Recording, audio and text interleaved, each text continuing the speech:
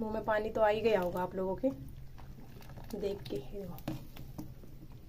दिखाई देगा। हेलो। दस रुपये उधार में हेलो दोस्तों मेरी गुड मॉर्निंग। कैसे आप लोग? उम्मीद है अच्छे होंगे मैं भी एकदम ठीक हूँ। तो आज मैं कर रही हूँ सफ़ाई।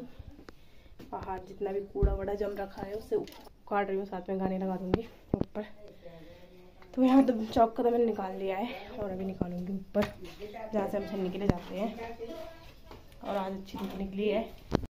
ये अनिकू का बिस्तरा बाहर आज धूप में। देखो।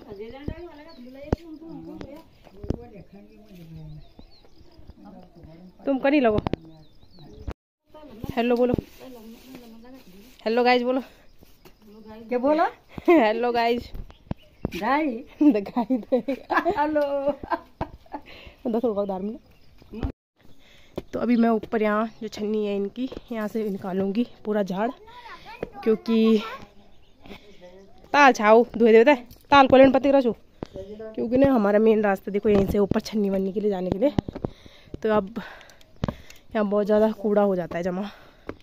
तो इसे तो उखाड़ने की मेरी ड्यूटी है फिर, ये देखो। तो ये सारे निकालूँगी अभी, क्योंकि पहले तो ये था कि वो लोग मतलब घर में रहते थे। तो उनकी गाय बच्ची भी थी। तो इतना वहाँ ना कूड़ा जमता नहीं था तो अब ना उनकी गाय बच्ची है नहीं।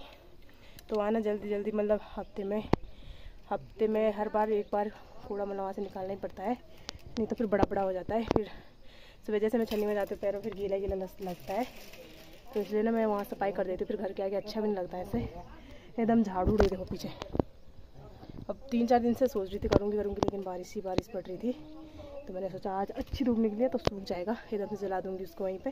फिर इधर रात से काटूँगी उसके बाद वहीं आग लगा दूँगी उस पर सूखा सूखा घास लाऊँगी छन्नी से और वहीं तो फिर चलो। अभी मैं कर लेती हूँ जल्दी से सफ़ाई नहीं तो बहुत ज़्यादा धूप हो जाएगी। धूप तो वैसे वही है लेकिन अभी हल्की है। दादी खन बोल जा दोस्तों यहाँ पे सफ़ाई देखो एकदम चकाचक हो गई है पूरा साफ़ कर दिया है। सारा कूड़ा मैंने वहाँ पे इकट्ठा किया है। ये देखो यहाँ पे एक टमाटर का पौधा था। बहुत छोटे से पाला था मैंने इसको तो अब इस पर ना टमाटर लगने शुरू हो गए ये है कंट्री वाले घरिया टमाटर। ये देखो, बहुत अच्छे होते हैं सब्ज़ी में। और ना जो घर पे होते हैं, उनसे थोड़े से बड़े हैं। तो इसके पे, इस पे मैंने एक ये भी लगा रखी है। एक और लाऊँगी तो बाकी सफ़ाई देखो, अब साफ़ हो गया। बाकी आज धूप लगी है तो सूख भी जाएगा। देखो। अनी कुछ आएगी घर पे, मैं फ़ोन लेके जा पीछे मिला। तो दोस्तों, जो काम था ना वो मैंने सारा निपटा लिया है। मैंने पूरी जो झाड़ी थी, वो निकाल ली है और बाकी छन्नी में भी हो रखा था बहुत सारा तो उसको भी आज मैंने निकाल दिया मैंने कहा, आज पूरी सफ़ाई कर रही रहती हूँ, जब लगी हूँ तो। बाकी नहाऊँगी तो कल, क्योंकि मैंने कल ही नहाया था, अभी मैं नहा नहीं रही हूँ, क्योंकि कल जन्माष्टमी भी है तो फिर कल ही होगा नहाना धोना। बाकी ना, अभी मैंने अनिको के सारे बिस्तरे देखो, बाहर डाल रखे हैं। तो आप, अभी मैं इनको अंदर रख देती हूँ, और कल मुझे बहुत ज़्यादा काम है, कल परसों में, क्योंकि मुझे सारी बेड शीट भी धोनी है, क्योंकि अब धूप शायद लगी जाएगी। क्योंकि ना बहुत दिनों से लगातार बारिश पड़ रही है। तो मैंने कल रात को ही चने भिगाने के लिए रख दिए थे। आज बनाऊँगी मैं चने का फाड़ू। तो बहुत दिन से नहीं खाया था। तो ये रहे चने। इसमें जग में भिगो के रखे थे मैंने। तो आज ना इसी का फाड़ू बनाने वाली हूँ मैं। रोज चचिंडे और मूला खा खा के ना बिखलान पड़ गया है। तो चलो, पहले यार सारा काम। बाकी ना मुझे ना अभी अनिकू की जो कल की ड्रेस है, काना वाली, वो भी ढूंढ के निकालनी है। ऊपर पता नहीं कहाँ रखी है मैंने। तो उसको भी मैं अभी निकाल लूँगी और बाकी जो ड्रेस मैं कल पहनूँगी ना, उसको भी मैंने अभी फिटिंग करनी है। मतलब प्रेस करना है उसमें। साड़ी पहनूँगी मैं कल जन्माष्टमी में। और मैं और अनिकू फ़ोटो शूट करेंगे कल। तो मैं अभी सारे कपड़े ना ढूंढ के रख दूँगी। तो चलो, आपको अभी चाँद चने के फाड़ के साथ मिलते हैं थोड़ी देर में। तो दोस्तों, ये देखो, यहाँ पे बन रही है मेरी चाने, चने की फुरौनी मतलब कि फाड़ू। ये हरा इसलिए दिख रहा है क्योंकि ना मैंने इसमें हरी मिर्च और हरा वाला टमाटर पीस के रखा है। तो ये थड़क रही है अब खाते हैं खाना। ये देखो, मुँह में पानी तो आ ही गया होगा आप लोगों के। देख के ये देखो।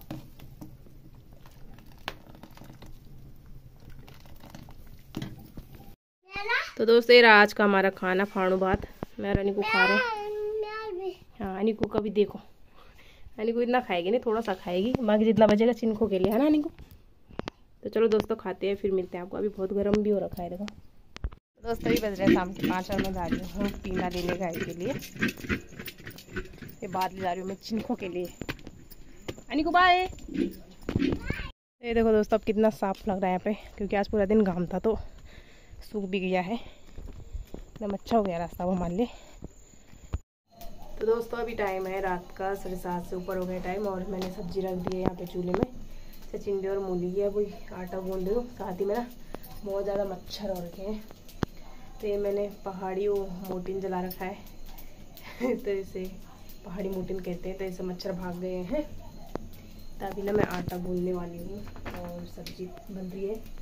जब तक आटा गूंदूँगी तब तक सब्ज़ी बन जाएगी और फिर अनिक को तो तो दोस्तों अभी दादी को देने जा रही हूँ मैं खाना। हाँ? खान हाँ काट। दादी को तो दे दिया है। दादी नहीं रहती ऊपर कमरे में। और अभी ना मुझे दूसरे कमरे से मेहंदी का कोन ले जाना है। तो अभी मेहंदी लगाऊँगी अपने हाथ में रात को और को दोनों।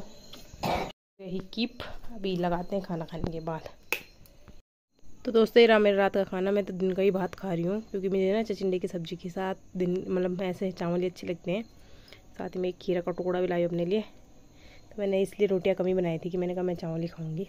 तो अभी